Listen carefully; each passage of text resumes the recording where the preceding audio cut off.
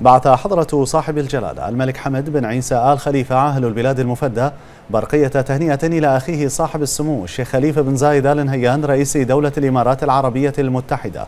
بمناسبة نجاح دولة الإمارات العربية المتحدة الشقيقة في إطلاق القمر الصناعي خليفة سات كأول قمر صناعي إماراتي محلي الصنع. مشيدا جلالته بهذه الخطوة المتقدمة التي تعد نقلة نوعية في توجيه وتوجه دولة الإمارات لتصنيع وإطلاق الأقمار الصناعية.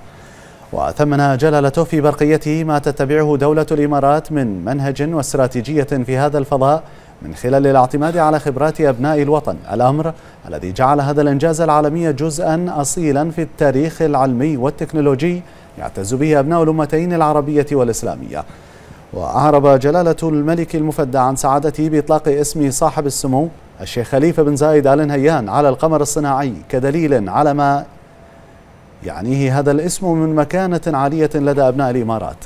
كما بعث حضرة صاحب الجلالة الملك المفدى برقية تهنئة مماثلة إلى أخيه صاحب السمو الشيخ محمد بن زايد آل نهيان ولي عهد أبو ظبي نائب القائد الأعلى للقوات المسلحة بدولة الإمارات العربية المتحدة بمناسبة نجاح دولة الإمارات العربية في إطلاق القمر الصناعي خليفة سات كأول قمر صناعي إماراتي محلي الصنع مشيدا جلالته بهذه الخطوة المتقدمة التي تعد نقلة نوعية في توجه دولة الإمارات لتصنيع وإطلاق الأقمار الصناعية.